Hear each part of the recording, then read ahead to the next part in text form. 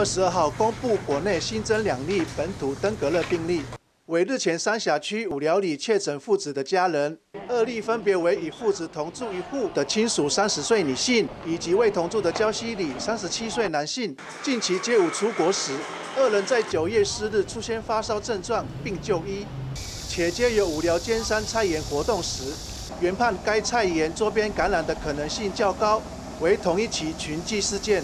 新北市三峡的登革热群聚呢，呃，本来已经确诊三例，那现在再新增两例，所以总数是来到五例。所以目前本土病例累计已经来到二十一例，那包括桃园市十六例跟新北市五例。那另外新增的一例呢，是境外移入，是从缅甸移入，所以今年累计是五十九例。新北市政府卫生局疾病管制科科长黄冠杰表示，新北市已动员约两百六十人巡检社区环境。也增加登革热的快筛据点。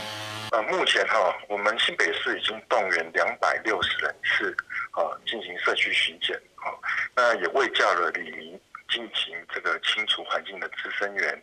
已清除了三百七十个积水容器，并且积极扩增辖内的登革热快筛据点。目前新北市总共有两百七十八家合约院所，那三辖区的部分已经有了八家。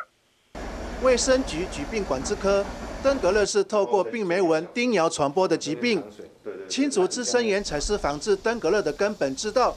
呼吁民众应定期每周清除住家内的周遭环境及积水容器。若经防疫人员通知仍不清除积水容器，致自身病媒蚊解决，将依违反传染病防治法第二十五条第二项规定，依同法第七十条处三千至一万五千元罚款。原是新闻稿啊，台北。